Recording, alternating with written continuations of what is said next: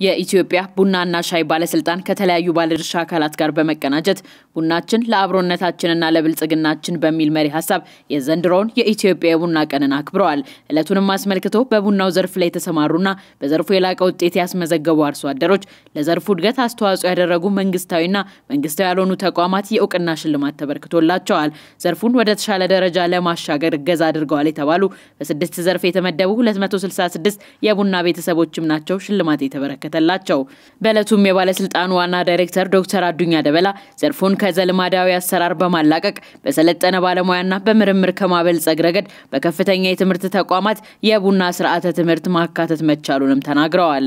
የልማት ስራ በሰለጠነ ባለሙያ በጥናትና በምርምር መደገፍ ስላለበት በዩኒቨርሲቲ ደረጃ ለየት ያለ የቡና ስርዓተ ትምህርት በመቅረጽ ባለሙያችን በማሰልጠንና ከዘልማድ የቡና አመራረት አያያዝና አዘገጃጀት ወደ የተሻለ የስራ አሰራር ስርዓት በመቀየር ስራዎች በመሰራት ላይ ይገኛሉ።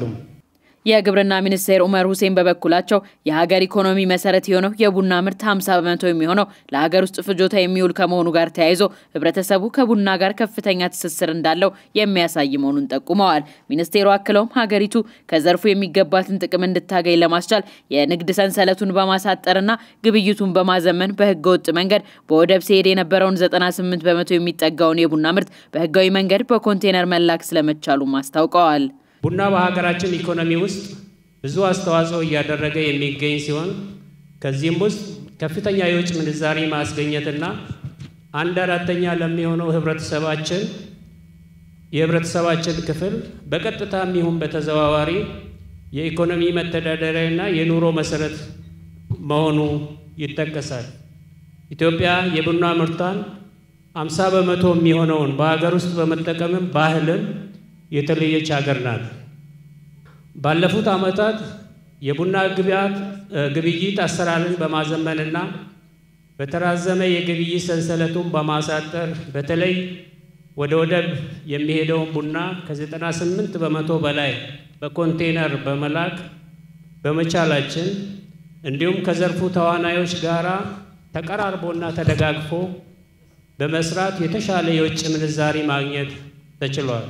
በመርሃ ግብሩ ላይ በክብር እንግድነት የተገኙት የኢፌዴሪ ፕሬዝዳንት ሳህለወርቅ ዘውዴ በበኩላቸው የቡና መገኛ በሆነችው ኢትዮጵያ ዘርፉ የሚጠበቅበትን ያህል ባለማደጉ ሀገሪቱም የሚገባትን ጥቅም ሳታገኝ መቆየቷን አስታውሰው እንዲህ ያሉ የእውቅና መርሃ ግብሮች የተዳከመውን ዘርፍ ከማነቃቃት ረገድ ጥሩ ጅምሮች መሆናቸውንም አስምረውበታል። ፕሬዝዳንቱ አክለውም ሀገሪቱ ካስገባቻቸው የውጭ ምንዛሪ ገቢ 75 በመቶ የሚሆነው ከግብርና ውጤቶች የተገኘ መሆኑንና ቡናም 35 በመቶ የሚሆነውን ቁጥር የሚሸፍን በመሆኑ ለዘርፉ የተሻለ ትኩረት ለመስጠት እንደሚገባ ጭምር አሳስበዋል።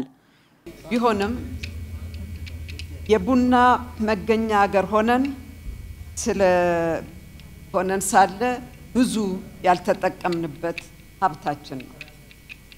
እንዲህ ያለ ዝግጅት ጥሩ ለሰሩት እውቅና መስጠት፣ ስራቸውን፣ ልፋታቸውን ማወቅ፣ ማሳደግ ትልቅ አቅም የሚፈጥር ነው ለወደፊቱ።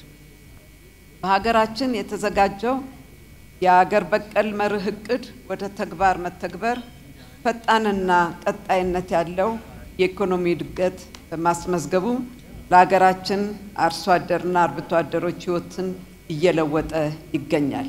በዚህ ዓመት ካገኘናቸው የውጭ ምንዛሪ ሰባ ሁለት በመቶውን የሚሸፍነው የግብርና ምርቶች ሲሆን ከእነዚህም ውስጥ 35 በመቶ ድርሻን ቡና ይይዛል።